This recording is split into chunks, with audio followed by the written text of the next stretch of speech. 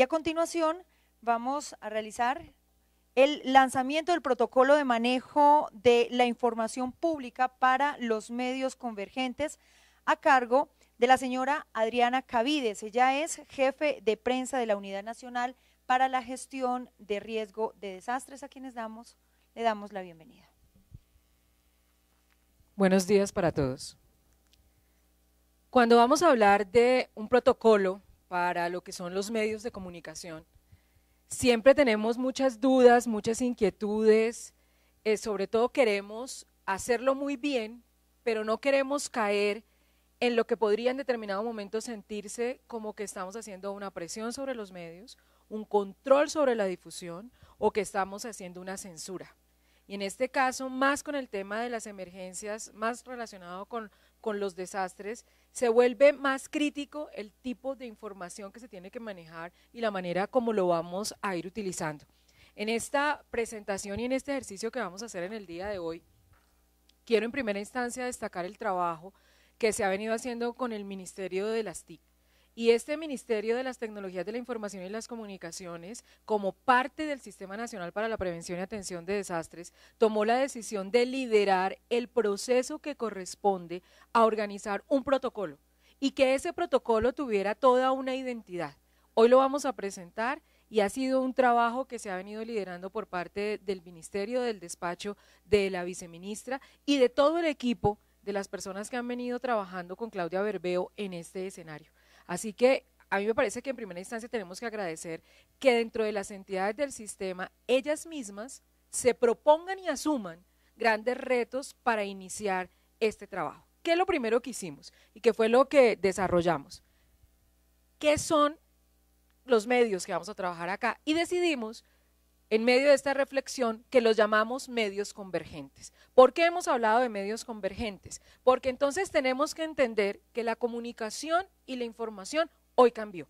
Los procesos informativos, los procesos de socialización, de difusión, de captura de información han cambiado totalmente. ¿Y por qué han cambiado? Porque nosotros y la ciudadanía estamos estableciendo otra manera de comunicarnos. Y entonces iniciamos ese proceso diciendo que tenemos los medios masivos de comunicación, los tradicionales, o sea, tenemos eh, la, prensa escrita, los impresos en Colombia y en todas partes del mundo los tenemos, ellos están a la orden del día y están con nosotros. ¿Con este? ¿Lo apunto y fuego? Entonces, tenemos los medios de comunicación, los tradicionales, tenemos las emisoras radiales, que son obviamente las tradicionales, las que tenemos en, todo Colombia, y también tenemos todo lo relacionado, aquí me devuelvo, tenemos también todo lo relacionado con la televisión y los medios. Esos son los medios masivos que siempre hemos tenido, que tenemos a nuestra disposición y a quienes durante muchísimo tiempo les hemos creído. Y les hemos creído porque el medio impreso es como el más, eh, el que investiga, el que tiene un poco más de tiempo, no juega con la inmediatez, juega con la mediatez. Tenemos la radio, que la radio es la inmediata, la radio es que lo que sucede inmediatamente tiene que decirlo. Es, es eh, inherente al colombiano, porque nosotros somos una cultura oral, que lo primero que el colombiano oye, si tembló, lo primero que hace es prender la radio. Y empieza todo un ejercicio de especulación, porque nosotros nos alcanzamos a demorar entre 10 y 15 minutos, generalmente, para que Ingeominas, que es la otra entidad técnica del sistema, nos diga dónde fue, de qué magnitud y cerca a dónde estaba. Pero mientras tanto, la gente que lo sintió, ella no está esperando los 15 minutos ni los 10 minutos. Ella necesita saber qué fue y dónde fue porque tiene familia. Y si lo sintió fuerte, ahí viene toda una serie de, esquemas que le aparecen a uno con el tema de, de un sismo, por poner un ejemplo, en lo que tiene que ver con la inmediatez de la radio. Y la televisión es la que nos evidencia las cosas, nos muestra las imágenes, nos dice qué sucedió, está el reportero allá, y ahí tendríamos que hablar de muchísimas cosas porque en lo en lo práctico de nuestro trabajo hemos visto que hay muchísima irresponsabilidad a la hora de dar unas noticias. Yo esta, este fin de semana estaba escuchando, eh, y lo vamos a ver dentro del protocolo, una serie de adjetivos calificativos para las noticias impresionante. Hubo uno que me llamó poderosamente la, atención. La, la, la manera que nos decían de la tenebrosa, la tenebrosa, la tenebrosa quebrada, fue el titular. Por Dios, la tenebrosa quebrada. dije, no, no, no hay derecho para, para, para juzgar. Además me sentí como en una película de terror, como cuando ya va a empezar y va a salir como, no sé, el caimán de 20 cosas ahí. Y ese es, es entonces, ¿qué, ¿qué ha pasado con los medios? Que el periodista que llega, lamentablemente no está entrenado. Y no está entrenado para manejar el riesgo. Y entra como ciudadano a cumplir una función periodística. Y entonces aquí tenemos un problema. ¿Cuál es ese problema? Que la gente escucha y lo asume. Yo en alguna reunión lo decía que escuché una señora, pues una señora, es una ciudadana, que dijo que el huracán de Bogotá, ella dijo el huracán que pasó en el norte de Bogotá con unos vendavales. Y el periodista de un medio dijo, sí, es que los huracanes y ciclones de Bogotá. Entonces, además fue a nivel nacional, es una persona con reconocimiento, ni siquiera el tener el cuidado con el lenguaje que estamos utilizando. Esos son nuestros medios tradicionales, masivos.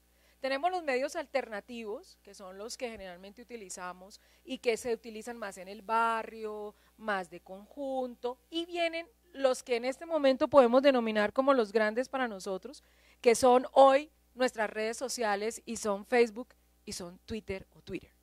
¿Qué sucede con ellos? Que nos han cambiado la manera de leer la vida, de comunicarnos y de interactuar nos están diciendo que ya no es como antes y que si yo quiero opinar, opino. Y el colombiano tiene buen sentido de la opinión y si ustedes se dan cuenta, los, colombianos somos muy editorialistas. Nos encanta echar editorial por todo. Nos encanta decir eh, nuestras opiniones, justificarlas, argumentarlas. Y generalmente con mucha validez en la experiencia personal, en mi criterio y en lo que ello significa. Entonces, ¿qué es lo que queremos trabajar acá? Nuestros medios convergentes. Y por eso hacemos esa introducción. ¿Qué son los medios convergentes? Pues son la nueva forma de entender la información y la comunicación. ¿Y qué nos están diciendo estos medios? Que esa relación unidireccional se acabó, donde la gente decía que era un receptor de la información y que de pronto uno, y yo no sé si a ustedes les pase, a mí sí me pasa, que yo le contesto al radio. Entonces yo estoy escuchando una noticia y termino discutiendo con la radio, pero ¿cómo así? ¿O por qué pasó? ¿O me devuelvo? En fin, pero era unidireccional. Entonces era como, como, como alguien que te habla, alguien que te cuenta y ya, hoy no. Hoy ya contestas, hoy ya reaccionas, hoy ya actúas con base en lo que está sucediendo y por eso los medios se volvieron convergentes y por eso la manera de comunicarnos ha cambiado.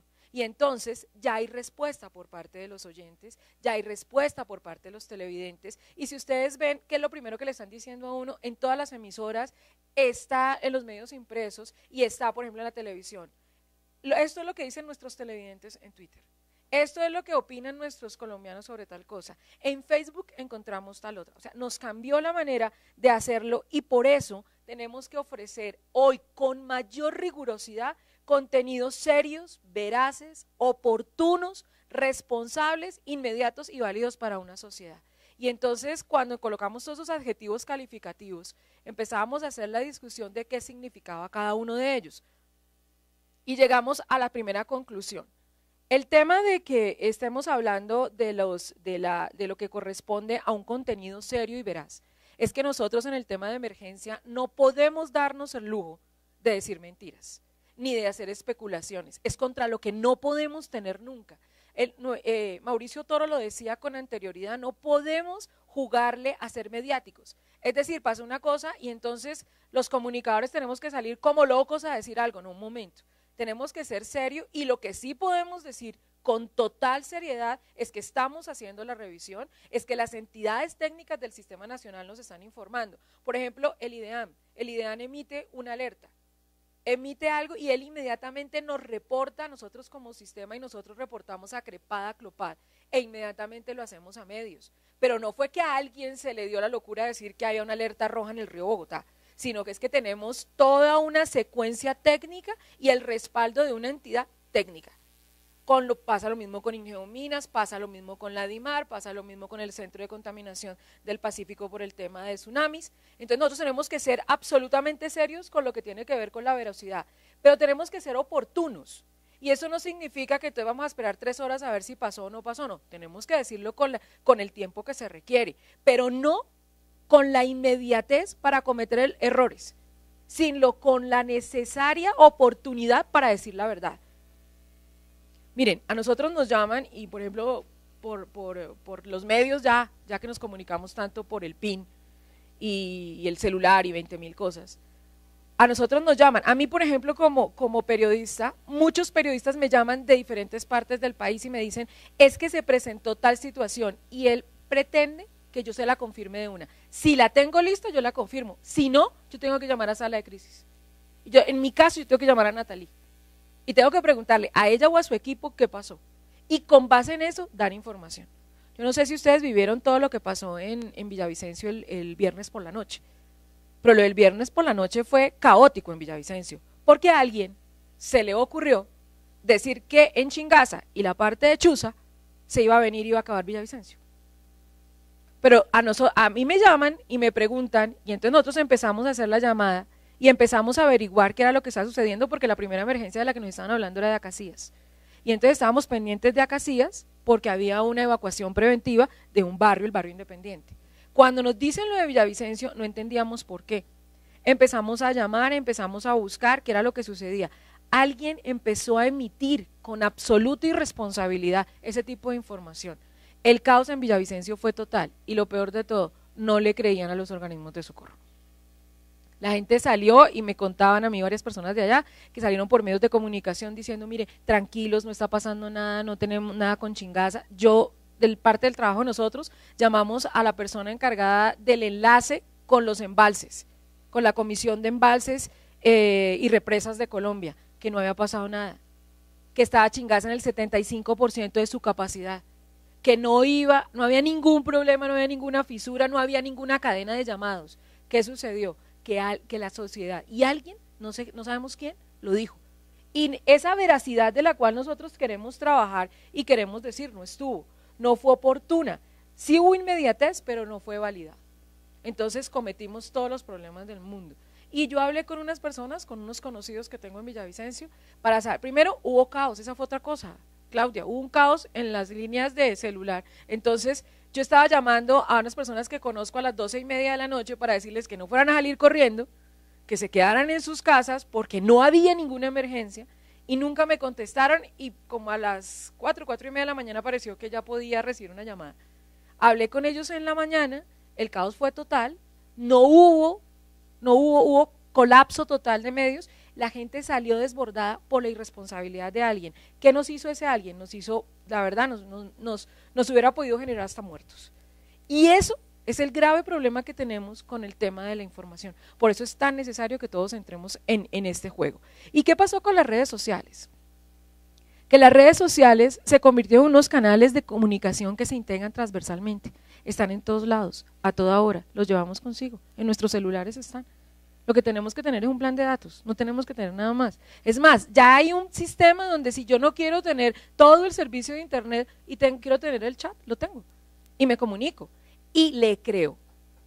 Recuerden que nos están escribiendo son los amigos, los conocidos. Entonces, si a mí alguien me escribe y me dice que hay un caos en Villavicencio, yo inmediatamente le creo. Y que se pasó algo, inmediatamente le creo. Ese es un, esa es una situación que tenemos que es un poco complicada y que vamos a tener que aprender a manejar. Pero vamos a trabajar ya lo que corresponde a destacar en, en, nuestro trabajo en el día de hoy y por qué trabajamos un protocolo. Estamos diciendo que vamos a destacar que se logra una apropiación de mensaje mucho más rápida y veraz. Y tenemos que hacerlo de esa manera. Tenemos que tomar conciencia de que la verdad es con lo que nosotros tenemos que trabajar y que de eso depende el éxito total de nuestro trabajo, de nuestra reputación, que es de lo que vivimos. Los periodistas tenemos un bien que no podemos soltar y es el bien de la credibilidad. Nuestra audiencia, nuestros públicos, sean internos, sean externos, sean los públicos a los cuales le trabajamos, nos tienen que creer. Y nosotros debemos ser absolutamente sigilosos para evitar que se nos convierta en un problema y que nosotros digamos mentiras. Una mentira para un periodista es terrible, porque no nos vuelven a creer y porque siempre nos lo van a recordar. La ciudadanía tiene nuevos espacios masivos de comunicación y nuevos flujos de información, nuevos canales de comunicación, y esos son fundamentales. Los medios de comunicación y las entidades hoy tenemos que reformular nuestra manera de comunicarnos y tenemos que reformular nuestra manera de acercarnos a nuestro público. Y tenemos que tener claro que si vamos a trabajar con jóvenes, una manera de hacerlo puede ser con las redes sociales. Pero el joven que entra a la red social, ¿qué quiere? Y el adulto superior entre 30 y 45 años, cuando entra a la red social, ¿qué quiere? Y si tenemos una persona mayor que entre, ¿qué quiere? Y tenemos que darle esa información que desea porque la tenemos que tener. Y hoy, lo hablábamos en nuestro taller del jueves, nos ha cambiado hasta la manera de escribir y la manera de hablar. Yo no sé a ustedes, muchos de ustedes los veo que son bastante jóvenes, yo creo que no les tocó tanto como a nosotros en la universidad que nos estaban planteando que teníamos que escribir con prosopopeya. Entonces teníamos que escribir largo, tendido, teníamos que escribir 20 mil cosas y si íbamos a, a, narrar algo casi que era descriptivo. Hoy no. Hoy Twitter me tiene 140 caracteres para yo decir algo. Y lo tengo que decir claro, conciso. Eso es mejor que un lead en periodismo. Tengo que decir qué, cómo, cuándo, dónde, por qué en 140 caracteres. Y tiene que ser claro. Y es mejor que un titular. Entonces ya el telegrama vuelve, pero ya digital, y vuelve con otras características. Y es la inmediatez. Y está ahí. Y yo tengo que cambiarlo. Y si un medio quiere estar, tiene que estar. Y si nosotros como entidad queremos estar en esos medios, tenemos que indiscutiblemente cambiar nuestra manera de hacerlo. En el sistema nacional lo estamos haciendo y en la dirección lo estamos haciendo. Tenemos una entidad que es la que nos está trabajando ese tema. Definitivamente como, como experiencia personal, yo entro al Twitter y yo entré que no tenía ni idea de qué era lo que pasaba acá.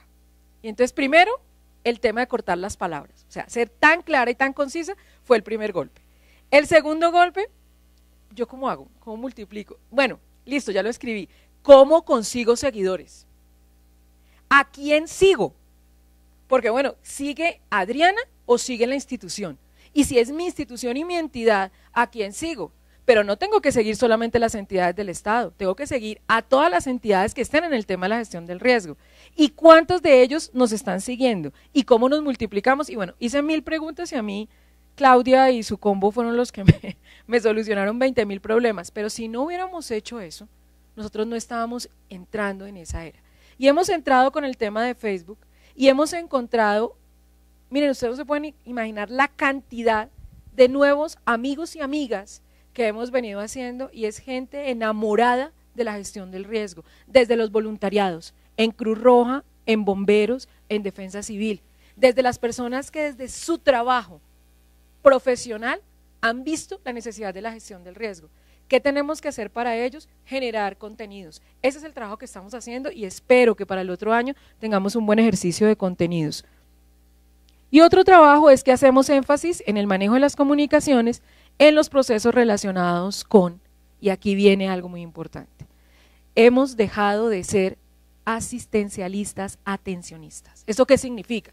Que atendíamos la emergencia y ya. No, nosotros tenemos que trabajar el conocimiento porque tenemos que aprender cómo es que la naturaleza está viva y está en todos lados y que cambia. Miren, hace unos días estábamos en una reunión y decía alguien, entre el 76 y el 70, perdón, entre el 73 y el 76 se presentaron tres fenómenos de la niña seguidos. ¿Ustedes se acuerdan de, esa, de ese impacto? No, porque no estábamos invadiendo el terreno de los ríos, porque no estábamos en zonas de riesgo, porque muchas de las construcciones que en ese momento se, estaban lejos, Hoy, y en este caso podríamos hablar de 37 años, 35 años más tarde, la historia cambió totalmente. ¿Por qué? Porque nosotros también hemos impactado el medio. Entonces, como hemos impactado, la naturaleza está cogiendo su cauce.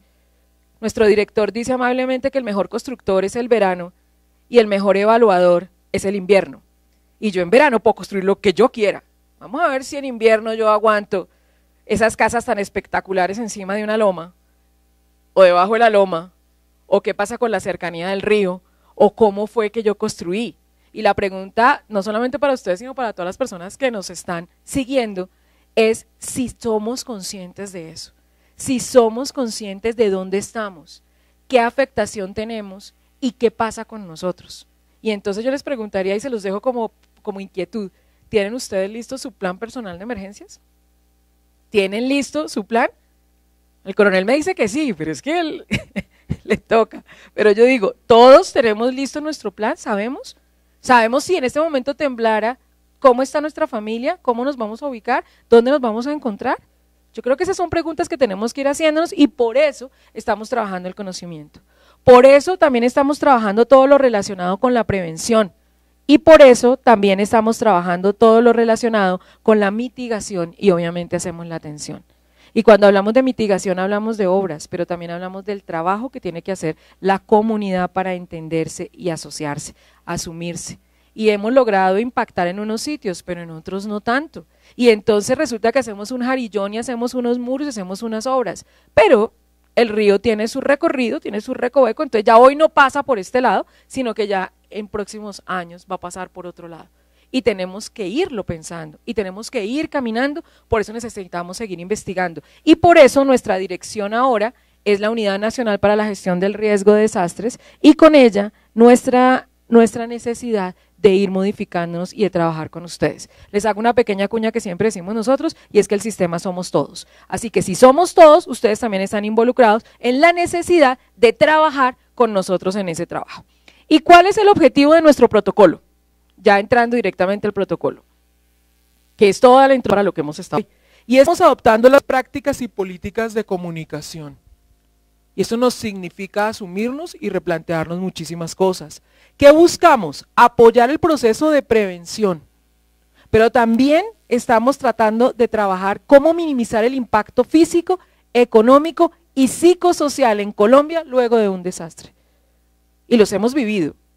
Y tenemos tristes experiencias pero también las que nos hacen ser de los mejores en América Latina y en el mundo, con reconocimiento a un sistema. No se pueden imaginar toda la cantidad de gente que viene a Colombia a ver nuestro sistema. Y ahí es cuando nosotros valoramos el maravilloso sistema nacional, atención y atención que tenemos. Y entonces queremos mirar cuáles son, pretendiendo que los factores que se puedan presentar luego de un evento natural, como son el pánico, que ustedes saben que es normal, la desinformación que llega a ser altísima, y el terrorismo informativo no conlleven a incrementar la afectación. Y esto, esto no solamente ha pasado en Colombia, sino pasa en todo el mundo. Ustedes recuerden que Chile fue el mejor ejemplo de cómo llevar una, una situación de desastre haciéndolo, digamos, un muy buen manejo. Y cuando el, el, la equivocación que ellos cometieron a nivel de orden público fue que las personas no podían acceder a comprar y a tener los alimentos después de un sismo de las proporciones que ellos tuvieron. Y eso generó pánico en algunas ciudades, ¿se acuerdan? Pero no vivimos eso con Japón. Si ustedes recuerdan, Japón es el mejor ejemplo de orden, de organización, de respeto y de manejo de una emergencia. Ojalá lo pudiéramos nosotros tener en Colombia. Uno miraba esas imágenes y, ve una sociedad organizada, ve una sociedad eh, bastante civilizada, con un respeto por el ser humano increíble, pero eso lo ha hecho todo un ejercicio que ellos han venido haciendo. Ya tenemos que llegar. ¿Cómo? Yo no sé, pero nosotros vamos a llegar. Yo estoy convencida que lo vamos a hacer cuando veamos cómo la gente trabaja para esto. ¿Y qué es lo que pretendemos con este objetivo? Es el de trabajar con los medios y vamos a dimensionar específicamente varios temas que son importantes a tener en cuenta cuando estamos hablando de ese trabajo con los medios de comunicación y cuando estamos viendo qué es lo que vamos a hacer para que nuestro protocolo funcione como debe funcionar. Y en primera instancia, el primer llamado que le hacemos a los medios de comunicación es que respetemos el dolor de las personas y las familias afectadas. Yo sé que todos ustedes han visto la terrible pregunta de cómo se siente y qué le pasó. Y cuéntenos. Pero ¿saben qué es lo más triste de todo? Que a los colombianos nos encanta contar nuestras tristezas y nuestros dolores. ¿No, se han dado cuenta? Ustedes no han visto que la mayoría de las personas, no importa qué situación esté pasando o qué esté viviendo, y entonces, ¿qué es lo primero que hace la persona? Se para y cuenta, porque necesita decirlo y porque necesita validar muchas de sus cosas. Eso es en la parte psicosocial. Pero los periodistas somos absolutamente imprudentes. Yo, hay veces, no sé, yo creo que ustedes han sentido como esa misma angustia que uno tiene cuando hacen la pregunta del millón. Y hay gente que ha sido muy fuerte al contestar. Yo vi una vez en una, llegó y le dijo, le ¿cómo se siente? ¿Qué le pasó? Y le dice el señor, ¿cómo me ve? Pero furioso. Claro, tenía toda la razón, acababa de perder todo, acababa de enfrentarse a una situación donde puso en peligro su vida y la de su familia, y alguien vino a hacerle la pregunta del millón. Y aquí yo quiero decirles en el tema de la responsabilidad de los medios de comunicación, es que puede presentarse, y, es el primer llamado a los medios, es que por favor no creen pánico con información errada o falsa. Y nos ha pasado, y hemos tenido que llamar. Miren, a mí me han llamado y me dicen, por ejemplo, yo tengo en este momento 15 muertos en una emergencia. Y le digo yo, yo no tengo 15 muertos, yo tengo en este momento tres cuerpos y tenemos ya los nombres registrados de esos tres, tres personas fallecidas y tenemos un registro, por ejemplo, de 15 personas desaparecidas. No es que yo tengo 15 muertos. Yo necesito que usted me diga eso. No, yo voy en tres personas muertas y 15 personas desaparecidas. Y cuando volvemos a enfrentarnos, entonces tenemos el problema de que el periodista sale. ¿Qué pasa? La angustia de la familia, el dolor de quienes están en determinado momento teniendo la mayor de las esperanzas es de que su familia no esté ahí. Y entonces empiezan a pedirle a uno nombres.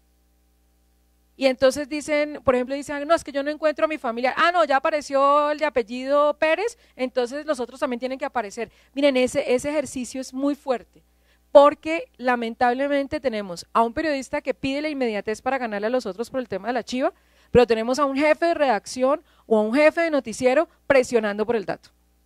Y presionando porque si no lo sale y lo saca primero la competencia, entonces viene, ya saben ustedes que es gallina, y gallina todo el día. Yo quiero contarles una anécdota en, relacionado con esta, este ejercicio de la, de la responsabilidad de medios. Cuando se presentó la avalancha del río Páez el 21 de noviembre del 2008, pues obviamente la alerta, la erupción fue a las 9 y 45, eh, a las 10 y media ya todos estábamos reunidos. Es una comunidad, la comunidad de Páez en ese cañón, está muy organizada. Y gracias a Dios el sistema de alertas tempranas funcionó, todo funcionó y teníamos en ese momento, teníamos en ese momento unas llamadas, una cadena de llamados y estábamos llamando a todos los los gobernadores indígenas para que ellos nos contaran cómo estaban. Entonces ellos ya estaban haciendo su reporte. Tengo todos los míos, tengo tal. De pronto alguno empezó a, con tristeza a decirnos que le faltaba una persona y bueno, ya empezábamos a sufrir porque ya empezaba a aparecer un ser humano desaparecido. Y bueno, en fin, cuando un periodista de una cadena, dos de la mañana, estaba ya llegando, ya claro, imagínense, la avalancha ya iniciaba a las 9 y 45, él estaba hablando a las 2 y 45, ya venía por el río Magdalena, ya había salido de Páez, ya había pasado por La Plata, y el hombre estaba en un puente y decía transmitiendo en directo, dos de la mañana, dos y media. Esto es horrible. Veo, veo ganado pasar. Acabo de ver una vaca. Esto se está moviendo horrible. Esto ustedes no se pueden imaginar. Esto está temblando. ¿Será que se cae este puente? Y el tipo en la mitad del puente. Ustedes no se pueden imaginar la histeria de quienes estábamos al otro lado del teléfono. Además, yo llamando a la persona, mi jefe en ese momento, la directora en ese momento, pidiendo pues a gritos que sacáramos a este señor de allá. ¿Quién lo saca? Entonces caímos en cuenta, ¿quiénes están? Pues los bomberos eran los que estaban ahí, llamando a los bomberos. Así sea alzado, sacan a ese señor de ahí. Porque le pasa algo y nos lo cobran a nosotros. Pero el de Bogotá, el que estaban en red con él en Bogotá, le decía, Sutanito de tal, no se mueva de la escena cuéntenos todo, díganos qué está pasando. Y el tipo estaba poniendo en peligro su vida. Claro, ustedes se pueden imaginar la palizada que estaba bajando y lo que estaba sucediendo. Y entonces el otro feliz estaba narrando. Yo creo que él estaba sintiendo pues el premio, no, el Simón Bolívar era una bobada al lado de lo que se iba a ganar. El Pulitzer, una cosa así. ¿Por qué? Porque se emocionó con la noticia, pero se volvió irresponsable consigo mismo. Y el que estaba en la cabina fue absolutamente irresponsable, porque él estaba en Bogotá, sentado en una cabina, creería yo que calientica, contra el otro que estaba poniendo en peligro su vida.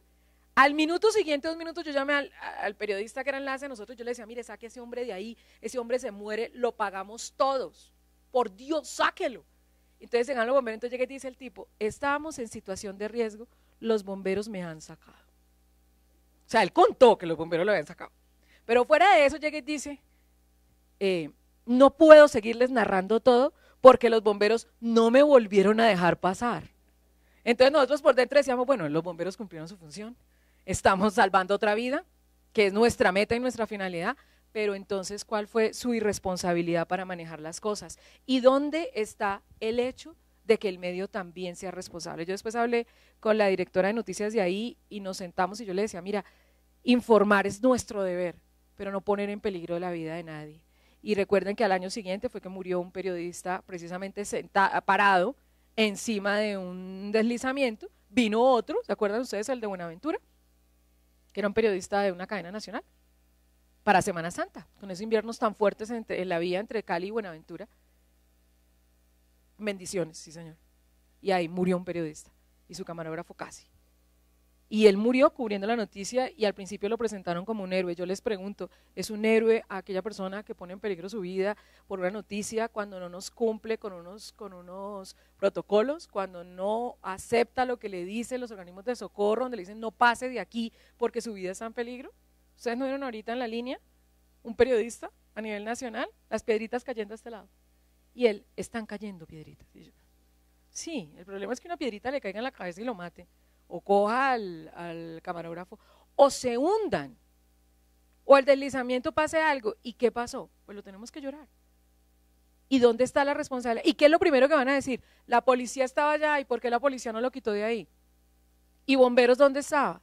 ¿Y dónde estaba la Cruz Roja? ¿Y dónde estaba la defensa civil? Y entonces yo pregunto, ¿y dónde está el criterio del sentido común para ciertas cosas? Pero como nos gusta, y les cierro esto, una periodista en el Tolima. Miren, yo ese día, y esa niña la conozco porque yo soy tolimense, se cogió de un arnés y se colgó, o sea, la tenían, ¿no? Y ella se colgó para mostrar cómo el río Magdalena estaba pasando y estaba llevándose todas las casas en onda. Yo después la llamé y le dije, tú sabes lo que tú hiciste. Tú pusiste tu vida en peligro. Si te hubieras caído, ni ese arnés te saca. Pero si te hubieran jalado contra las murallas que hay ahí en el, en, eh, sobre el Gualí, ahí en Onda, te hubieras matado. Le dije yo, ponte a pensar lo que acabas de hacer, tú pusiste en peligro, es que ni siquiera MacGyver hace eso. Usted se colgó de ahí y creyó que estaba haciendo lo máximo. Pues cómo sería que en, la, reportera ese día le dijo, Sutanita de tal, por favor ubíquese en una zona que es que nos dio angustia verla. La presentadora, y a ella le pareció que el directo era, es que quedó colgando. Imagínense usted la persona en declive, sostenido por un arnés, no sé porque no se veía dónde estaba amarrada. Pero supongo que algunas personas la estaban teniendo, qué maravilla, para sacar una nota. Eso es un peligro y eso forma parte de la irresponsabilidad de los medios cuando tienen que hacer cosas. Otro tema de responsabilidad de medios tiene que ver con guardar la institucionalidad y ese respeto que tenemos que hacer, redireccionar la información de alertas que emitan las entidades técnicas del sistema, darnos el crédito, pero decir la verdad. No decir que sí, que sí tal cosa y entonces ponerle el remoquete de que eso lo dijo el IDEAN, cuando en realidad el IDEAN la alerta que emitió no fue esa. O por el contrario, con algún, algún otro tema. Entonces sí es importante que nos den la credibilidad, es importante hacerlo, pero también es importante que digan lo que se está diciendo. Hay veces decíamos y hablábamos en otros talleres la importancia de los temas técnicos. Y hay mucha palabra técnica que utilizamos acá. ¿Qué sucede? Que esas palabras técnicas tenemos que explicarlas. Como comunicadores al reproducirlas tenemos que explicarlas, pero tenemos que decirlas, porque si no vamos a, a caer en diferentes errores.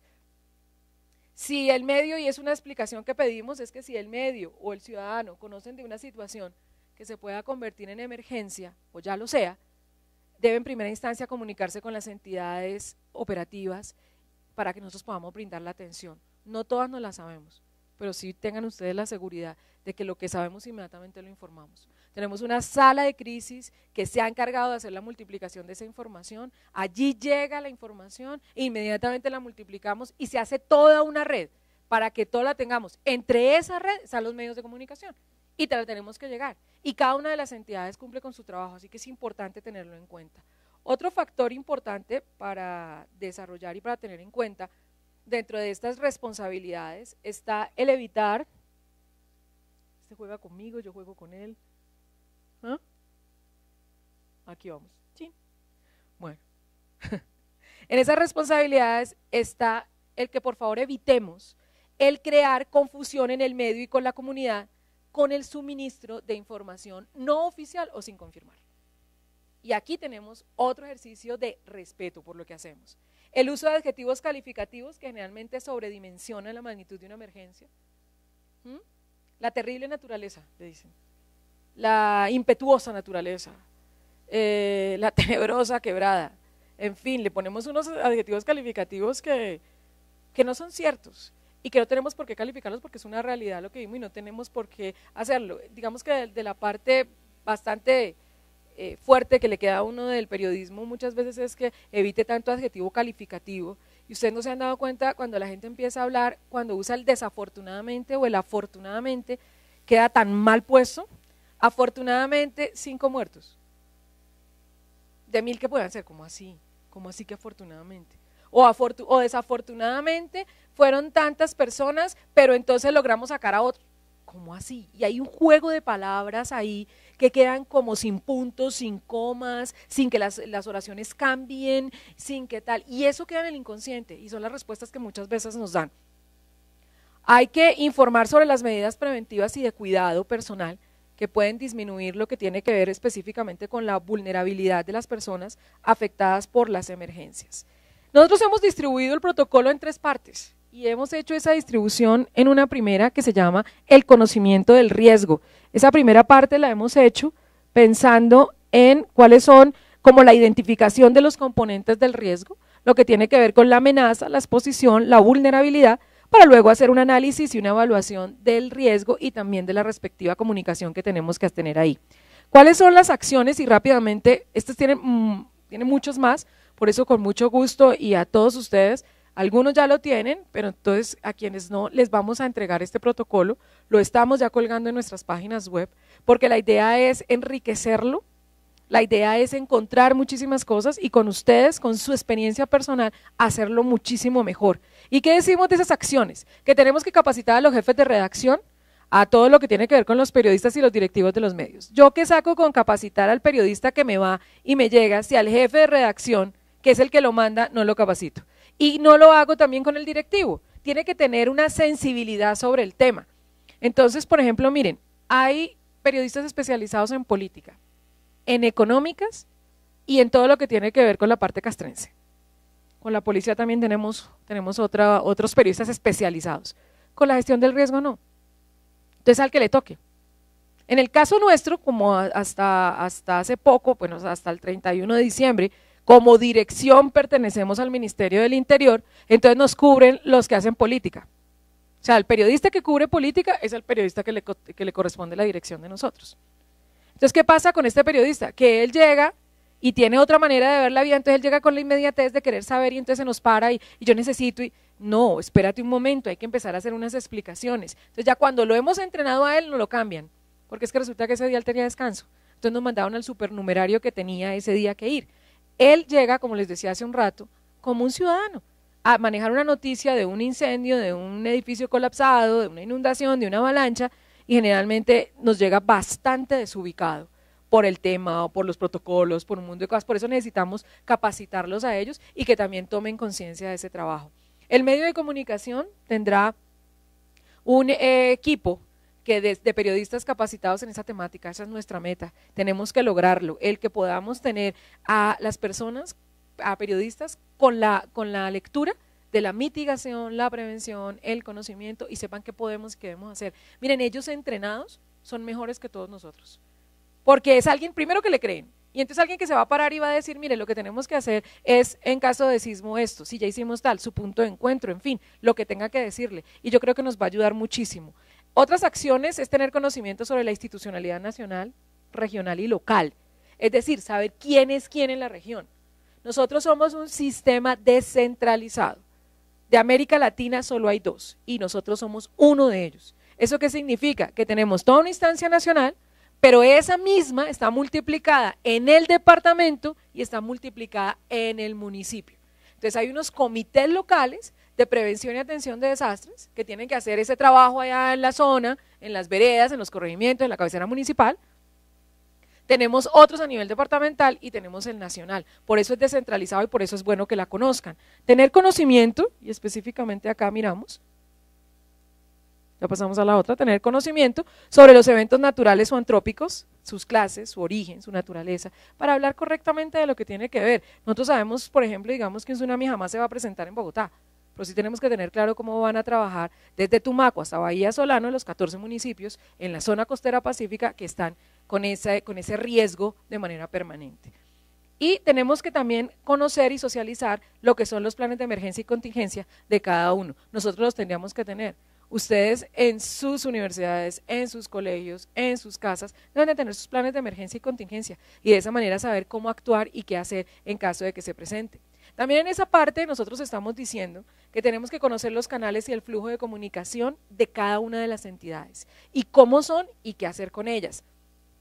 Conocer la normatividad que nos, nos eh, rige. Les tengo una buena noticia, está cambiando. Entonces, no manejemos la 919, sino manejemos la nueva, que ya está en este momento en su última fase, ya está en el Congreso de la República, ya hizo las dos vueltas que tiene que hacer en la, en la Cámara de Representantes, en la comisión y después en la plenaria.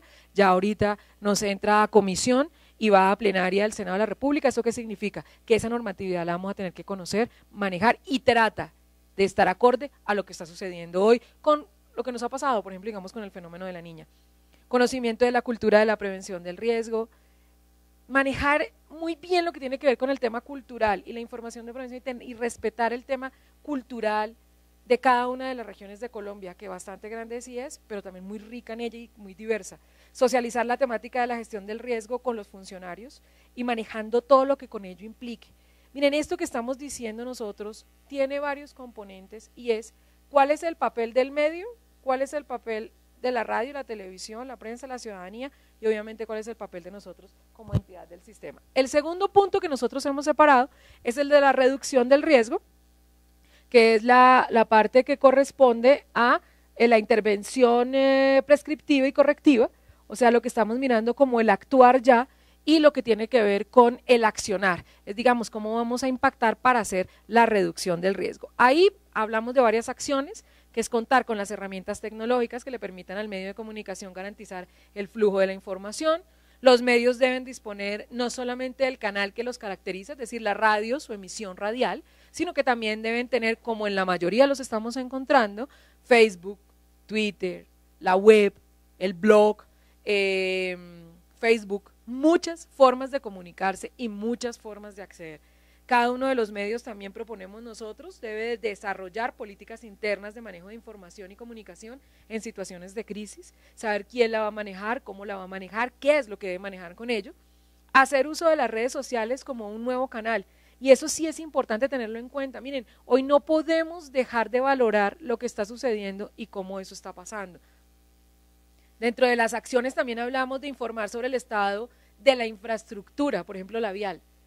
Miren, eso que están haciendo los medios hoy, eh, y digo hoy es de todos los días, de decirnos a los colombianos cómo están las carreteras, digamos con la, policía de carreteras nos está enviando una información diaria que se actualiza casi cada dos horas.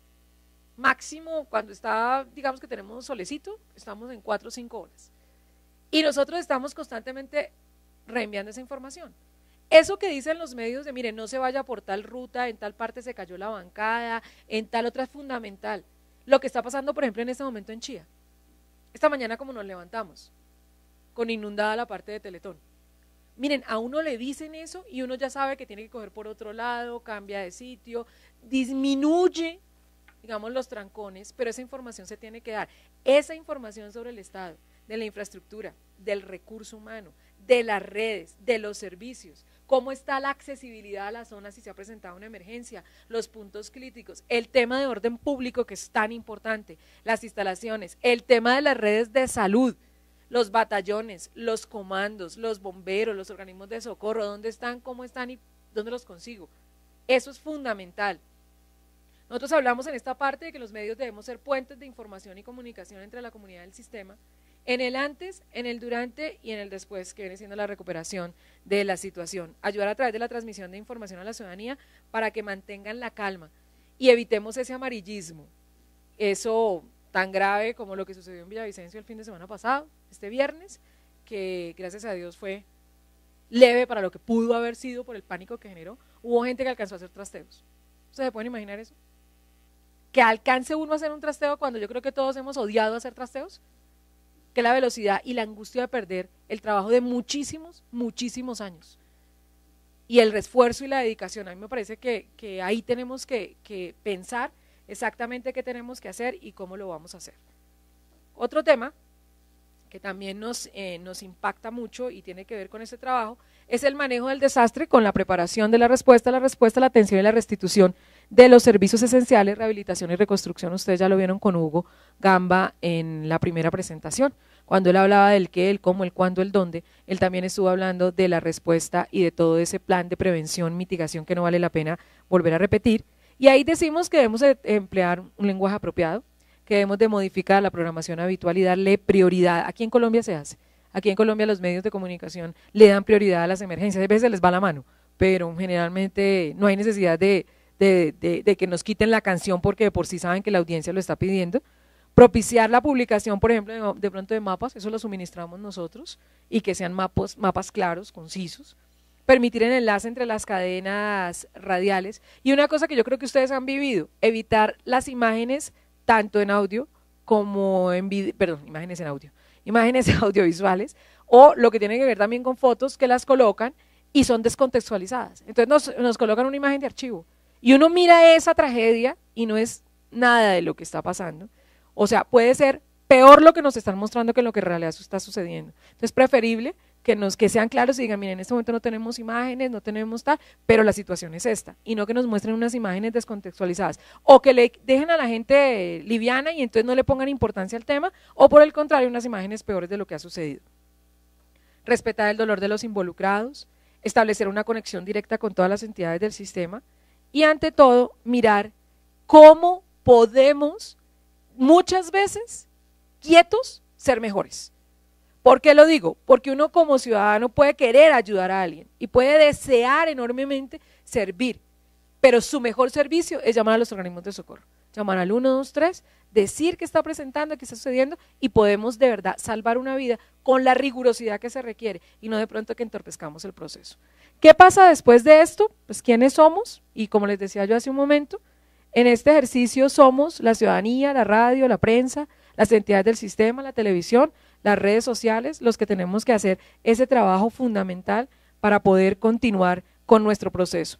Y finalmente, hablamos de las recomendaciones que hacemos en los canales web, el 2.0, donde nosotros estamos diciendo claramente que se debe, en este caso, escuchar a la ciudadanía, de lo que está informando. Muchas veces la ciudadanía puede ser, eh, yo creería que la mejor vocera, el mejor corresponsal que tenemos es la ciudadanía, porque es quien está viviendo la situación, escuchar lo que ellos nos tienen que decir de la mejor manera, comunicar sobre las campañas de prevención y sensibilizar sobre la temática de la gestión del riesgo, replicar y ayudar a difundir información de los canales oficiales que nos están dando, que nos están dando, ha jugado conmigo como ha querido de los canales oficiales de las entidades hacia la comunidad en general. El otro aspecto que tiene que ver específicamente con las redes sociales es que las redes sociales son nuevos canales de comunicación que permiten la interacción con los medios. Eh, la gente está aquí porque le gusta, porque tiene una afinidad, porque tiene una necesidad o porque tiene un interés. Cada uno llega con una lectura y a ellos también tenemos que suministrarles información. El fenómeno del voz a voz y su trascendencia se hace presente en la parte virtual como fuera de ella. Y estamos aquí siendo suaves al decir el voz a voz, porque ese rumor y ese chisme o ese pánico que alguien nos pueda generar nos puede costar la vida de muchísimas personas. Hay que tener mucho cuidado. Eh, las redes sociales son herramientas claves para lo que tiene que ver con el tema de educación, de prevención, de manejo de riesgo. Son utilizadas adecuadamente y nos pueden ayudar. Si no, nos generan todos los problemas del mundo. Somos seres sociales y por ende somos comunicativos. Así que es inherente a nuestra naturaleza estar con el ejercicio de compartir información y manejarla. Y por eso es fundamental que sepamos qué hacer. En el caso de, cómo trabajar eh, con Facebook y con Twitter, debemos de tener en cuenta que difundir la información de los canales oficiales en caso de emergencia o desastre. Y para eso, el jueves, por ejemplo, estuvimos reunidos y nos dábamos cuenta con muchas de las entidades del sistema la necesidad de tener el Twitter actualizado, listo y oficial. Entonces, si todos multiplicamos la información oficial, estamos evitando ese tema del voz a voz, del chisme, pero nos estamos dando crédito. Y estamos diciendo ampliamente qué es lo que nos suministra IDEAM, por ejemplo, qué nos dice Geominas, qué plantea la policía, cómo nos lo plantea, por ejemplo, la defensa civil, qué está diciendo la Cruz Roja, hacia dónde apunta la dirección del sistema, cuál fue la emergencia, en fin. Eso nos ayuda muchísimo a ese manejo. De otro lado, eh, referenciar con claridad lo que tiene que ver con el sitio del suceso, la hora, el tipo del evento el, efecto inmediato que causó, la condición actual de quien reporta, la solicitud específica del tipo de ayuda que se requiere y la fuente de información. Es fundamental porque así aterrizamos a las personas. A ver, también tenemos que trabajar con eh, capacitarnos y replicar eh, contenidos. El uso del hashtag en Twitter, que también me lo aprendí. Hasta la palabra me lo aprendí. Todo no lo aprendimos. Entonces, ¿qué pasa con ello? Que nos permite huir. Nosotros montamos uno que fue eh, el RUE, reporte último de emergencias. Ese nos estaba funcionando muy bien. ¿Por qué? Porque cuando sacábamos una información que fuera de lo, algo que acaba de suceder, pues nos ayudaba mucho. Hemos, eh, hemos trabajado el hashtag de la gestión del riesgo, gestión riesgo, el de simulacro, el de evacuación, hicimos, eh, y la gente nos ha ayudado. Y eso, nos, eso para nosotros ha sido muy importante porque nos ha permitido entender un lenguaje, interpretarlo, pero también usarlo y sacarle gusto.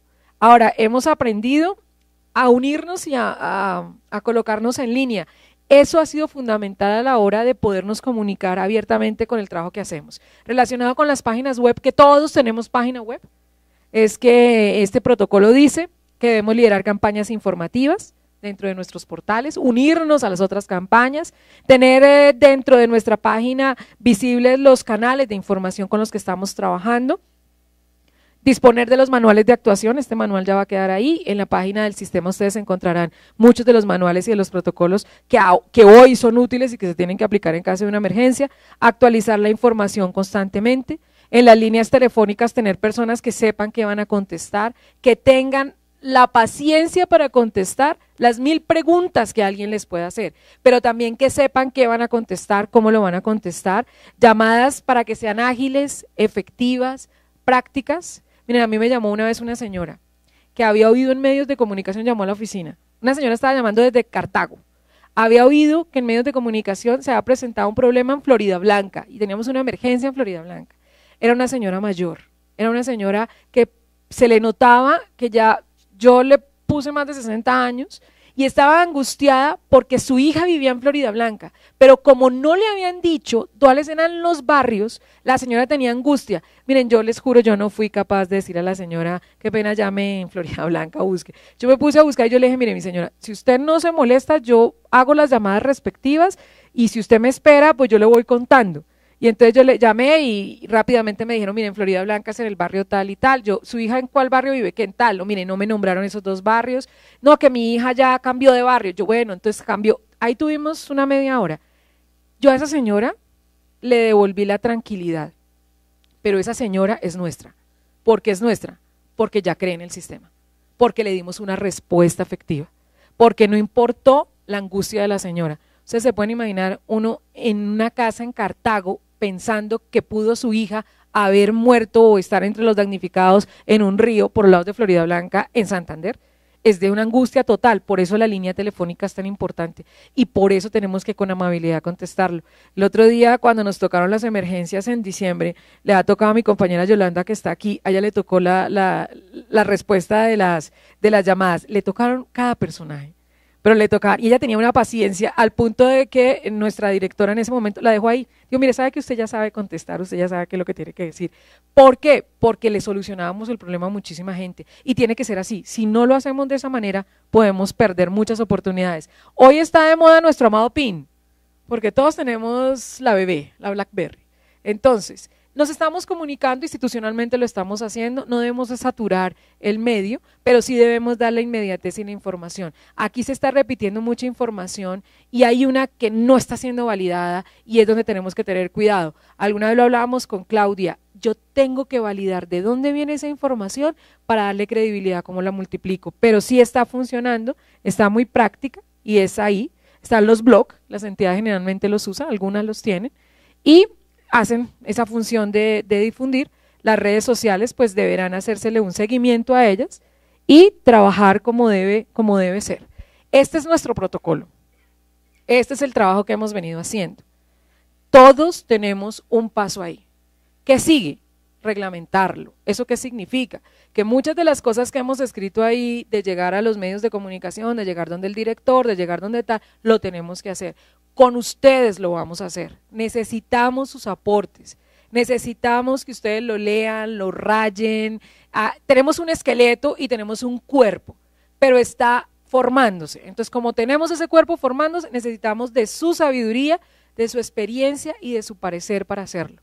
Este es un protocolo que busca que cuando trabajemos el tema de las emergencias y los desastres, lo hagamos con la responsabilidad que exige un país que como el nuestro las vive constantemente. Pero si los medios de comunicación, las entidades del sistema y la ciudadanía estamos conectados, yo creo que vamos a poder superar esto y cierro diciéndoles nuestra frase.